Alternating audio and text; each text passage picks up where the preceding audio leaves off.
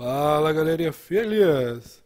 Hoje trazendo aqui o Moura Wondershare, esse editor de vídeo aqui, que tem a vantagem de ser bem intuitivo, bem prático e leve. Na minha opinião, eu achei no editor de vídeo bem leve, gosto bastante dele.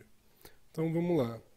Aqui, como vocês podem ver, eu fiz uma captura de tela quando estava editando o vídeo que está no canal do Overwatch Multicam, né, com quatro câmeras. Então, mais ou menos ficou assim a, a timeline de edição. Então, vocês podem ver aqui é esse pedaço que está aqui. Tá? Esse aqui está selecionado, ó. quando você seleciona, ele aparece nesse canto aqui. Essa aqui é a área de exibição do, do vídeo. Então, quando você seleciona, ele aparece aqui. Como eu puxei né, para cá, já está aqui. Seleciono aqui. Então, é, essa área aqui, ó, área de, de vídeo, essa linha aqui de vídeo. Aqui embaixo tem uma área, o símbolozinho corresponde à imagem, mas você também pode colocar vídeo.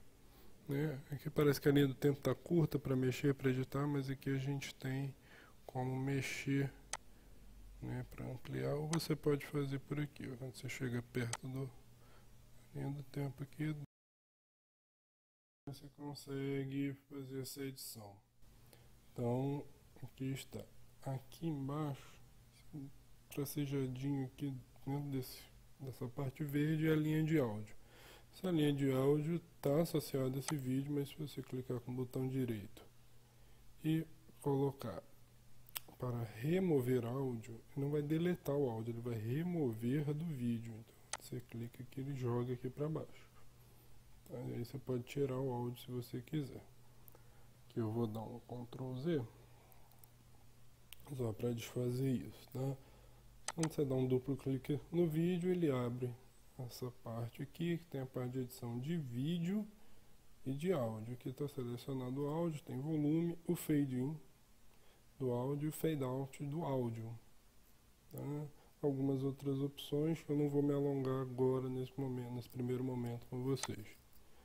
Tá?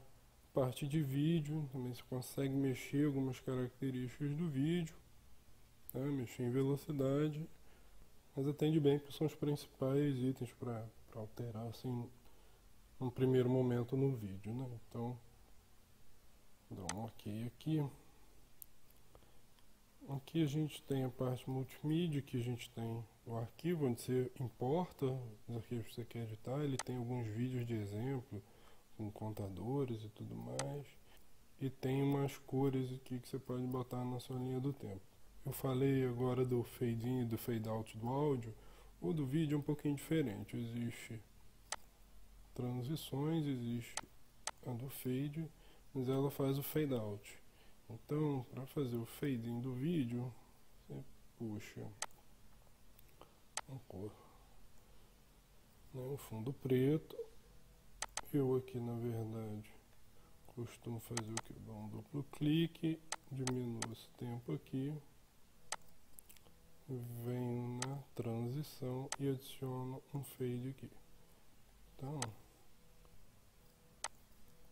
rápido. Se eu der um, eu der um play agora, vê que tem a transição suave do fade. Mesma coisa aqui no final, eu consigo jogar esse fade aqui quando está acabando o vídeo. E aí depois é só você fazer no áudio esse fade out para coincidir com o vídeo, se você achar necessário. Bom, tem músicas, você tem como adicionar como trilha se você não tiver um áudio próprio, né, ponto de direitos autorais tem essas opções aqui. Texto tem várias opções, crédito, vou fazer ao final de filme, né, tem uma até meio Star Wars, ó. Então, bem, acho bem bacana. Uso bastante a parte de legenda, eu arrasto para aqui, tem a linha específica do texto, dou um duplo clique e edito aqui. Tem edição avançada, também eu mostro isso para vocês depois. Deletar. Aqui. Existem filtros. Você arrasta para a linha, ele cria uma linha de filtro automaticamente.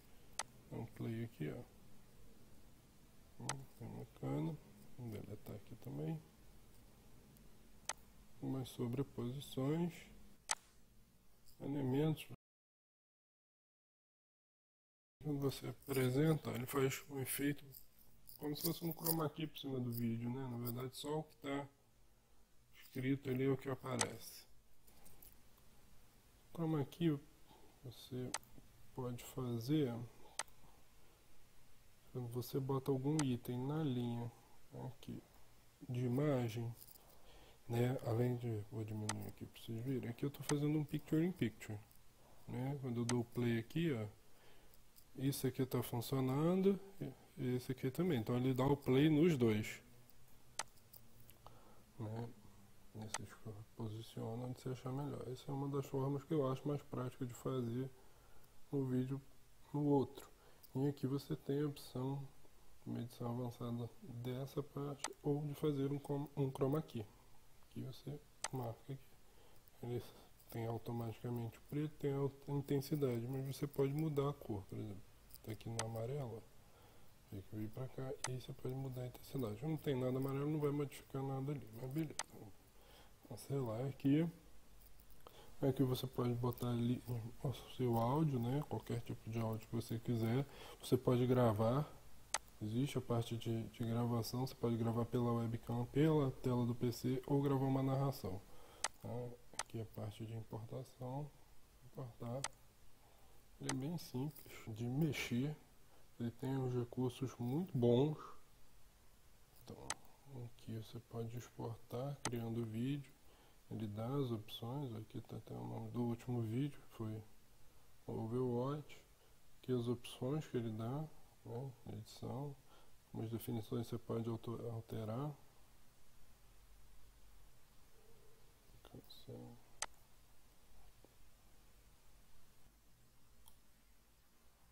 Além disso, ele tem a tela dividida, que é uma outra opção.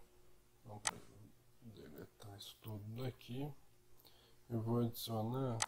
Esse daqui posso clicar nisso, mas ele já joga aqui. Janela 1, janela 2, ele está aqui. Ó.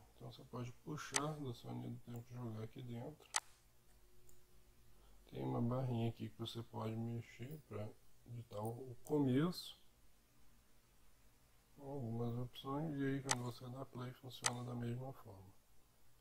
Dá o play nos dois ao mesmo tempo já é uma pré-formatação aqui lado a lado. Se quiser mais alguma explicação de alguma coisa mais específica, se tiver alguma dúvida, pode mandar aí que eu vou tentar responder para vocês sobre o Filmora Wondershare.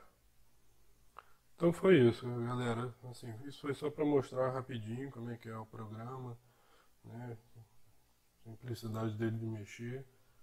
Se tiver alguma dúvida, pergunta aí, deixa nos comentários. Quiser alguma explicação específica sobre alguma ferramenta, alguma coisa do programa, se eu souber eu respondo. Então é isso, até a próxima, valeu galera, aquele abraço.